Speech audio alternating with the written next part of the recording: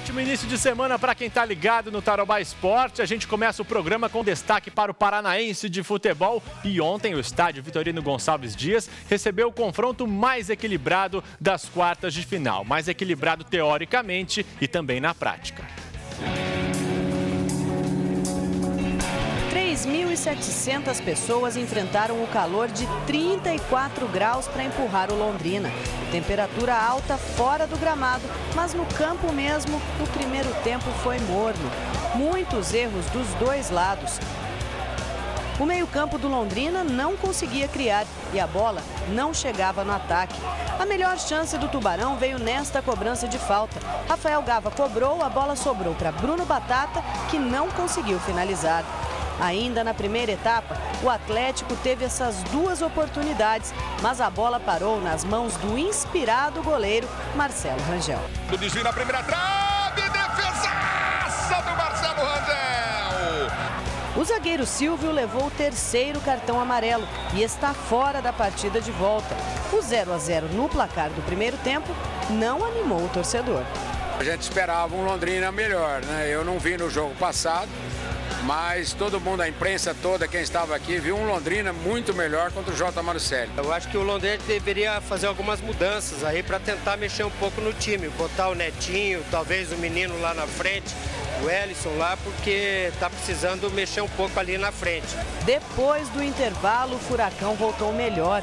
No comecinho do segundo tempo, o atacante André Lima ficou cara a cara com Marcelo Rangel, que de novo salvou o Tubarão.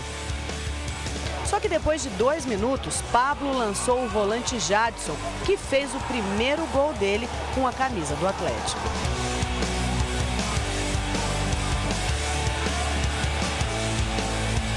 O técnico Cláudio Tencati teve que deixar o time mais ofensivo. Rafael Gava e Bruno Batata deram lugar a Netinho e o Ellison.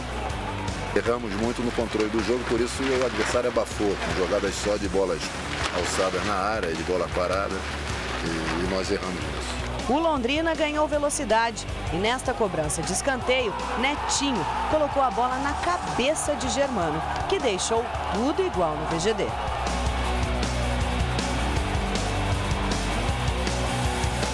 Equipe do Londrina reclamou muito desta jogada dentro da área, quando a bola tocou na mão do jogador do Atlético. Mas o árbitro, que foi bastante criticado, não marcou nada. A partida também foi marcada pela estreia do atacante Keirson, que entrou na etapa final, no lugar de Paulinho Mocelin.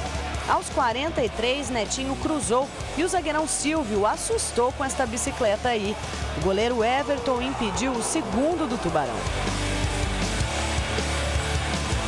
E foi isso mesmo. Fim de jogo, um para o Londrina, um para o Atlético.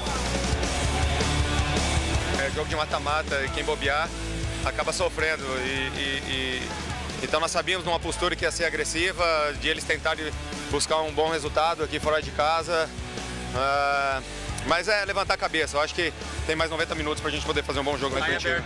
A partida foi entre as duas melhores defesas do campeonato.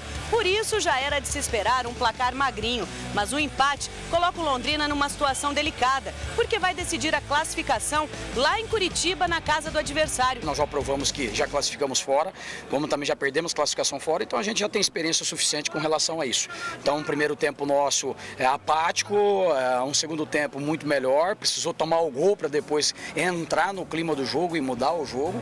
E lamentação jamais, pô. Nós estamos numa competição, cara, um jogo com um adversário complicado, vamos jogar no nosso campo, onde temos condições de fazer muito mais jogadas ao longo de 90 minutos, como aquela que fizemos é, no gol, fizemos, é, e na jogada que o Marquinho teve chance e outras que, que tivemos oportunidade. É isso que nós vamos é, nos exigir na semana.